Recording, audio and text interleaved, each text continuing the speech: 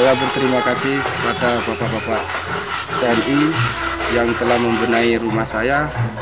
Semoga ke kelanjutannya rumah-rumah yang lain bisa diperbaiki lagi dari bapak-bapak TNI dari Kostrad. Saya berterima kasih.